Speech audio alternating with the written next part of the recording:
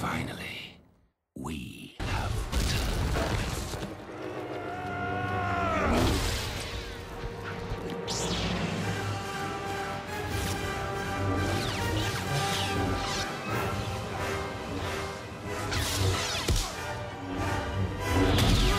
You were deceived.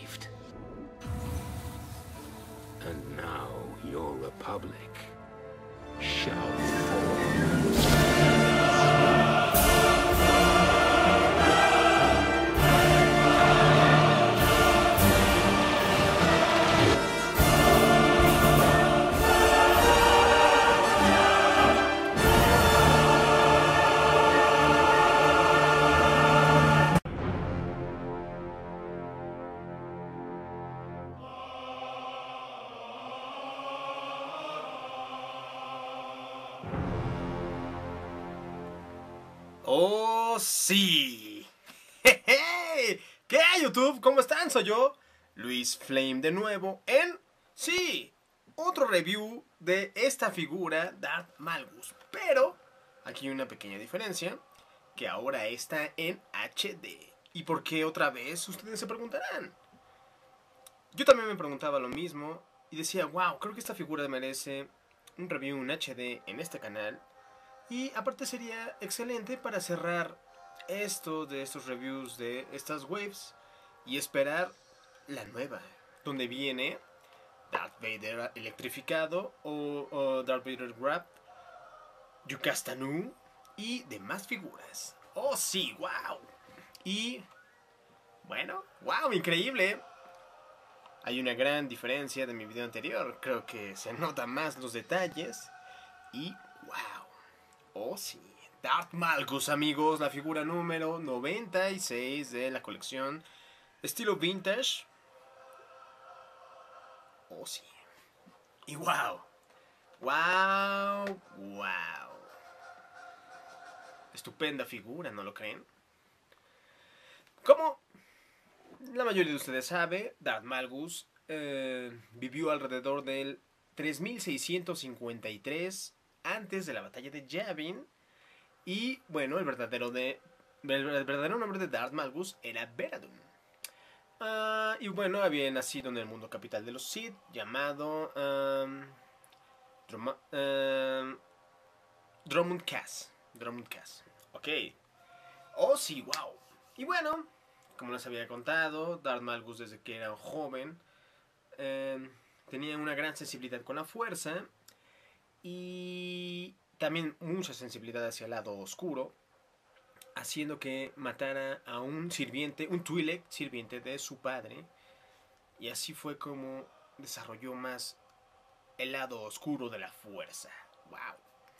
Aparte, ustedes saben en los que han visto los trailers de eh, Star Wars The Old Republic, el tercer trailer donde, que es el de Return, donde sale Darth Malgus, esta Shae Isla y una Twi'lek azul es la amante de Darth Malgus. Que, por ejemplo, ah, era como, la había tomado como su sirvienta, pero Darth Malgus se enamoró de ella y la trata más como su esposa. Sí, eso es un dato así como que, wow, los Sith, no solo Darth Vader puede enamorarse, ¿eh? wow, wow. Aparte, bueno, Darth Malgus era un guerrero feroz que ocasionalmente utilizaba mercenarios alienígenas, cosa que normalmente los Sith no hacían, por ejemplo, ya la historia de Star Wars Store, bueno, Star Wars The Old Republic, ya que los mercenarios alienígenas eran muy difíciles de controlar por medio de los Sith. Pero Darth Malgus era diferente. Él sabía que si eran eficaces no había problema alguno. Aparte,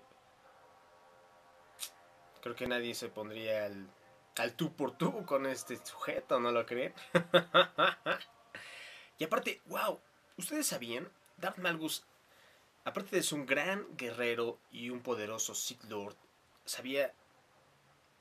Bueno, había aprendido varios idiomas alienígenas para ser ah, más diplomático. Sí, también es así como que... ¡Wow! De hecho, si han jugado al Star Wars The Old Republic, a la hora de matar ya a Darth Malgus, los que ya lo han jugado, los que no lo han jugado, sabrán que él se convirtió en un emperador del Imperio Sith. Sí, el más poderoso al parecer. Oh, sí, wow. Y bueno, por ejemplo, los que no entienden muy bien cómo es que salió esto de The Old Republic, quién rayos es Darth Malgus, por qué rayos está atrás algo de el Imperio Sith y Corriban y toda esa onda. Bueno, este de, de Star Wars Tour, o sí, Star Wars Tour o Star Wars The Old Republic, de hecho es el tercer juego, el tercero de tres juegos que por ejemplo empezaron en la primera consola de Xbox, allá en el 2005. Y bueno, por ejemplo, el primer, primer juego que salió fue ah, The Knights of the Old Republic, donde los Sith principales eran Darth Revan y Darth Malak. Sí. Que por cierto, la historia de estos dos Jedi caídos eh, tiene mucho que ver, por ejemplo, con Exar Kun, que es un Sith todavía mucho más legendario en el universo expandido. ¿No? Eh, los Mandalorians, Exar Kun, o sea, es toda esa onda. El primer juego de The Knights of the Old Republic es donde sale Darth, Ma- eh, Darth Malgus, Darth Revan y Darth Malak. Que de hecho Darth Malak es como el villano, villano. Darth Revan, de hecho, hay una parte donde se, se vuelve de nuevo hacia el bien gracias al amor de Bastila Shan. Y juntos van a destruir a Darth Malak. Por cierto, increíbles figuras, ¿eh? bastante cotizadas hoy en día. Si ustedes les gusta esto de el universo expandido, los Sith, la historia y demás, yo les recomiendo que encuentren, búsquense estas dos figuras, estas dos, no una ni otra, sino las dos porque es bastante coleccionable, yo sé lo que les digo, y por lo mismo que es del universo expandido, ya tiene un rato que salió y aparte es no, sé, no era tan fácil cuando salieron de hecho conseguirlas, ya posiblemente estará alrededor de unos mil, 1300 esta figura y tal vez unos 900 esta otra, pero realmente vale la pena. Yo se los digo, se los recomiendo, genial. Estas figuras, esos personajes principales, estos Sith fueron los que salieron en el primer juego de eh, The Knights of the Old Republic. Después salió el The Knights of the Old Republic, The Sith Lords, donde el Sith principal era Darth Nihilus. Otra espeluznante figura de un Sith Lord. ¡Wow! Tengo que decir que soy súper fan de este sujeto. Mírenlo, no tiene una expresión el cual simplemente es una máscara de muerte. Increíble. Aunque en el segundo juego de The Knights of the Republic, The Sith Lords, que el principal Sith es eh, Darth Nihilus, eh, de hecho la cinemática se ve como un tipo como de unos dos metros y algo. Y aparte habla como...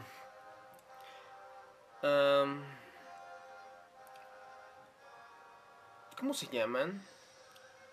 The Black Riders, uh, de El Señor de los Anillos, ¿no? Que no les entiende, solo hablan como murmurando.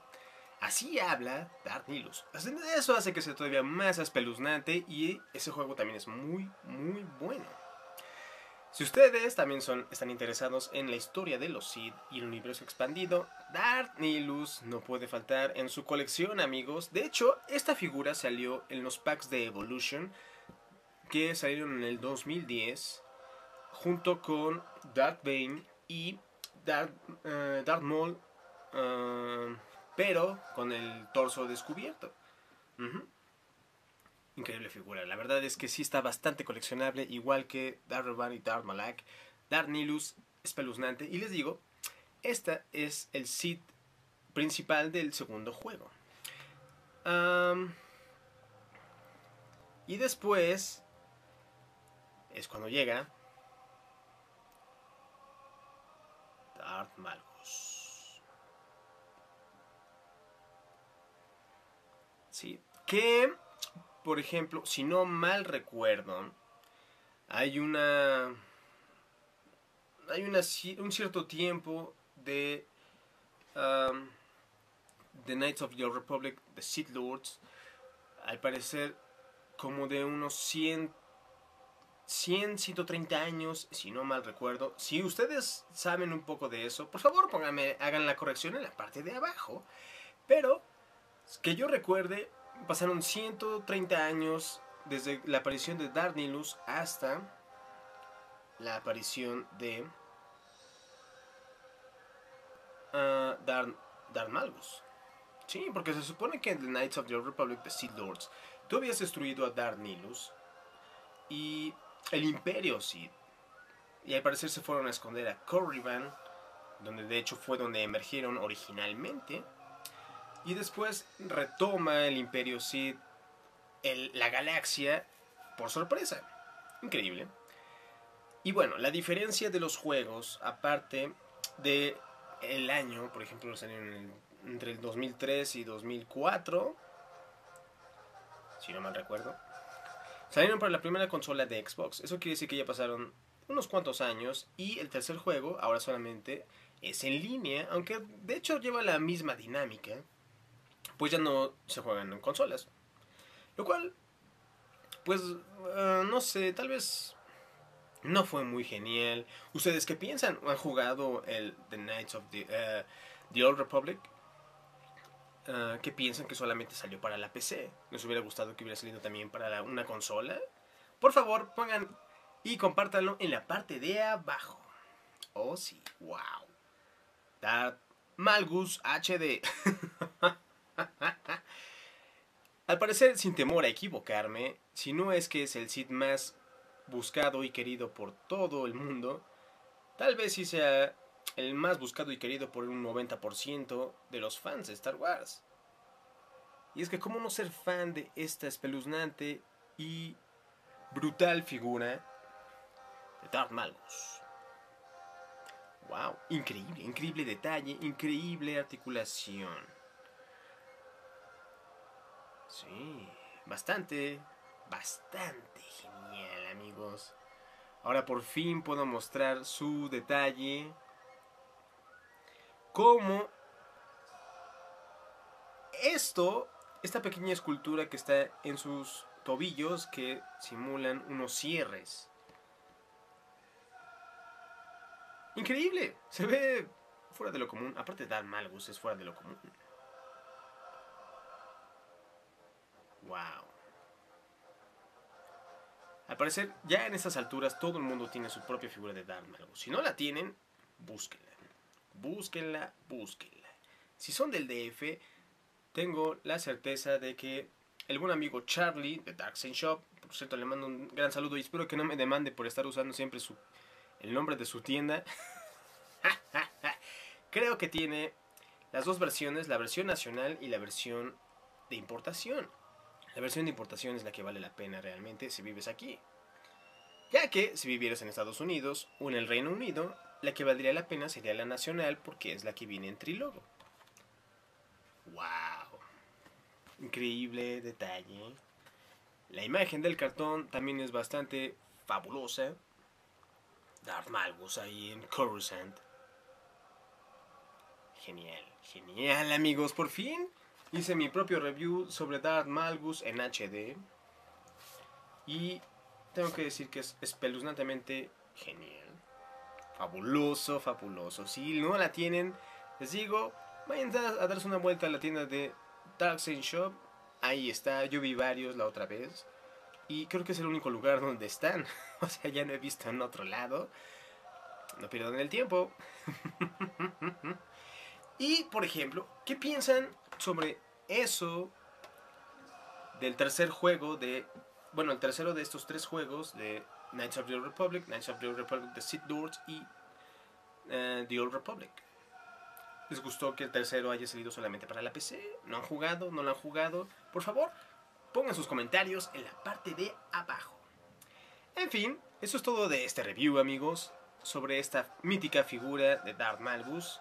Ya cerrando esto de los waves sobre lo de uh, Bombindin, Gram of Tarkin, Starkiller, uh, Shae Isla. Así que a las siguientes figuras. Oh, sí, no puedo tener. No puedo esperar para tener esa figura de Darth Vader electrificado. Wow. O la de Yukastanu, que próximamente también habrá un review. Sí, señor. Muchas gracias por mirar. Corran a buscar su Darth Maul si aún no lo tienen. Y sigan coleccionando. ¡Oh, sí! ¡Nos vemos!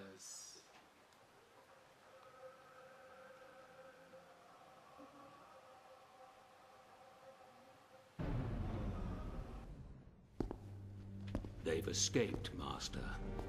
You failed. No, Malgus. This is only the beginning. Yes. After a thousand years, Korriban is ours again. Welcome home.